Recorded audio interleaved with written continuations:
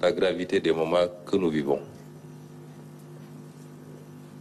Il est extrêmement difficile d'intéresser les Sénégalais sur euh, des questions qui relèvent d'une certaine technicité, particulièrement quand il s'agit des finances et du budget. Mais en langage très simple, je voudrais que les Sénégalais comprennent la situation. Et il était important pour nous de dresser cette situation de référence bien avant de vous présenter le nouveau référentiel le 7 octobre. Vous ne pouvez pas faire des projections sur les 25 prochaines années si vous n'avez pas fait l'état des lieux et la situation dans laquelle vous trouvez le pays. C'est d'autant plus important que, en tant qu'acteur politique, nous avons promis aux Sénégalais. Nous avons mené une lutte politique pendant dix courtes et longues à la fois années, qui ont été consacrées par l'élection du président Bassirou Diomaye Faye. Et nous avions promis aux Sénégalais que nous les mènerions au sommet du gratte-ciel. Et je confirme ici que par la volonté de Dieu, nous le ferons.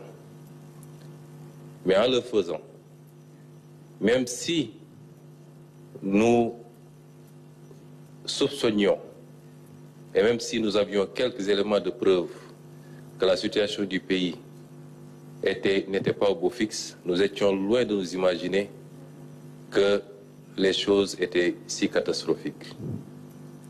Et donc ce que je voudrais dire, c'est que pensant être au premier étage, nous avions promis d'accélérer les choses pour amener le pays au sommet. Après l'inventaire et l'état des lieux, nous nous rendons compte que nous trouvons le pays au quatrième sous-sol. Il nous faudra faire un effort de rattrapage qui exigera de notre part à tous beaucoup de sacrifices. Mais en langage beaucoup plus simple, c'est que le ministre vient de nous dire, c'est que les autorités que nous avons remplacées ont menti au pays et ont menti aux partenaires en falsifiant les chiffres publics, en donnant des données erronées au moins sur les trois aspects qu'il a soulevés, mais vous pouvez le considérer sur tout autre aspect. En l'occurrence ici, le déficit public, qui est au double de ce qui a été annoncé pendant tout ce temps. La dette publique, qui est 10 points plus élevée ce qui a été annoncé. Et de manière constante d'ailleurs, de 2019 à 2023. L'exercice aurait pu remonter plus loin. On aurait su ici, la tendance avait pris départ un peu plus tôt, mais les quatre exercices nous suffisent pour voir à quel point le régime du président Macky Sall a menti au peuple, a menti aux partenaires, a tripatouillé les chiffres, pour donner une image économique, financière et budgétaire qui n'avait rien à voir avec la réalité. C'est d'une gravité extrême. D'une extrême gravité. Sur le troisième point, il a abordé la question du surfinancement.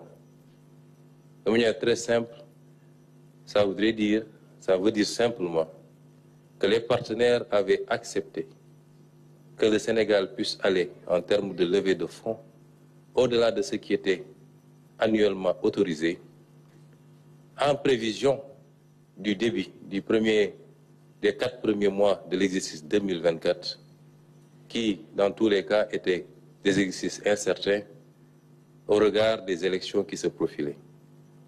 600 milliards qui n'aurait dû être dépensé qu'à partir du 1er janvier, mais que le régime sortant a dépensé avant notre arrivée au pouvoir, c'est-à-dire avant 2024, sur l'exercice 2023, ce qui est extrêmement grave. Il est important d'insister sur ce point, parce que la manipulation a voulu faire croire aux Sénégalais qu'il y avait un problème avec le surfinancement et que c'est notre régime qui a utilisé ces fonds. ce qui est totalement faux. Ça a été utilisé et de manière injustifiée pour plus de 300 et quelques milliards par l'ancien régime. Et au moment où on parle, nous ne trouvons nulle trace de l'utilisation de ces fonds. Je voudrais, avant de donner la parole à Monsieur le ministre de la Justice, saluer